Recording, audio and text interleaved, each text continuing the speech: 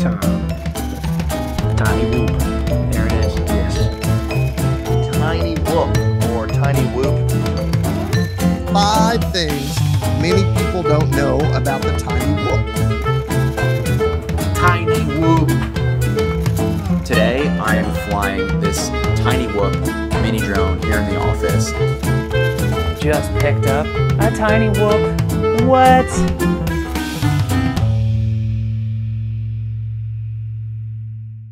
The Tiny Whoop. There are hundreds of build logs, how-tos and flight videos out there, but seemingly no proper introduction. What is it? Where did it come from? What's the current state and future of it? If you already consider yourself a Tiny Whoop expert, you may not get much out of this, but for everyone else, let's get going.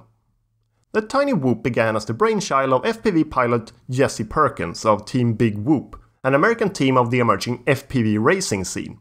As a phenomenon, it started gaining serious traction earlier this year and has been growing steadily since, just now reaching a more mainstream consciousness with widely available parts, upgrade kits, and clones. But more on this later. The Tiny Whoop is a micro FPV quadcopter. Unlike most crafts discussed on this channel, it isn't a finished product though, but rather the name for a specific modification of a specific quadcopter, which anyone with the right parts, tools, and know-how can perform. Sure, you can actually order a ready-to-fly Tiny Whoop from some website, but in this case, they're just doing the same mod for you. If you view the Tiny Whoop modification as a recipe, the main ingredient is the Inductrix, a brushed micro quadcopter from Blade. Blade's products can apparently be a bit of a mixed bag quality-wise, but the Inductrix is great. It's small, it's quiet, its ducted design protects it from crashes, and its level of control is just unparalleled for a micro quadcopter at least in my frame of reference.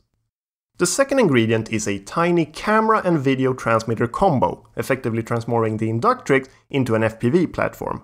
It needs to be tiny, very light, and able to operate on little input power. There are a few options, but a popular choice seems to be the FX797. Note that this is quote unquote proper analog FPV, meaning good range and little latency, but also no smartphone connectivity. The third ingredient is a set of faster motors to compensate for the added weight of the other components. Once again, there are a few options ranging from fast, which basically seem to aim at bringing the Inductrix back to its original capacity, to insane, which is supposed to make it even sportier. Note though that motor speed largely determines power consumption, thereby flight time. The fourth, and arguably optional ingredient is one or more upgraded batteries. Depending on your parts, you may find the stock LiPo can no longer supply enough current or deliver acceptable flight times and therefore feel the need to upgrade.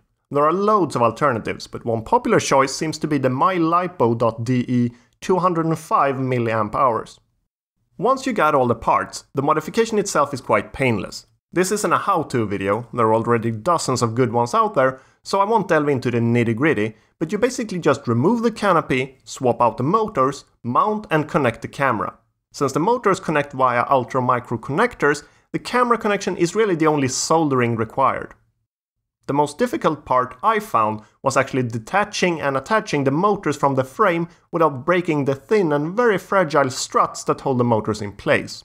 Also tricky, though in a different sense, was figuring out how to mount the camera firmly and at a good angle. After a few attempts with double-sided tape, I ended up getting a 3D printed mount from eBay for cheap. Liftoff! When it comes to flying the Tiny Whoop, I cannot highly enough recommend doing so using a pair of FPV goggles or glasses. Even using this very basic pair, just a 4.3 inch low resolution display and a Fresnel lens to allow the eyes to focus despite the short distance, the experience is completely different from, and one could argue, far superior to, that of looking at a screen on the transmitter. Since the Tiny Whoop isn't a product in the same sense other crafts on this channel, I won't go into full review mode. Suffice to say, just as you'd expect being a mod of the Inductrix, it flies very well. Stable, extremely maneuverable and pretty sippy.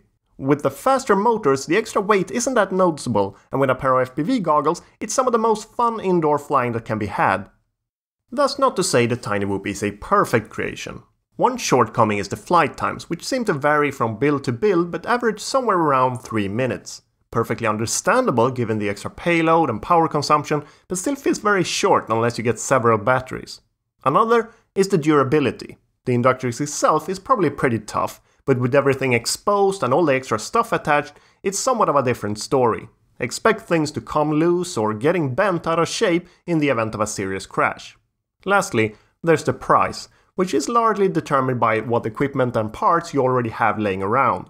If you don't already own a pair of FPV goggles, an Inductrix or a compatible transmitter, you're looking at a near $200 investment, pretty steep. While the Tiny Whoop is currently on the height of its popularity, the RC manufacturers seem to have finally caught up with the trend of small, indoor FPV crafts, and there is much competition just now or very soon hitting the market. Noteworthy examples include Eachine's QX series, several Inductrix clones under different brand names, Hubsan's H111D, and last but not least, Blade's own recently announced Inductrix FPV. On top of this, you got ideas for alternative, often less expensive FPV mods emerging all the time. With all this going on, the Tiny Whoop's future becomes difficult to predict. The best solution today could very well be out of the picture a few months from now. If you're not already on the Tiny Whoop bandwagon, it might be worth holding off until we know what the next crop of indoor FPV crafts yield. I'll do my best to cover at least the major competitors here on this channel. Thanks for watching this attempt at an introduction to the Tiny Whoop. This is not really my usual thing, I mostly do multirotor reviews, and if you're into that sort of thing, you're welcome to subscribe to my channel to be notified of new videos. Alright, see you soon in another video, bye!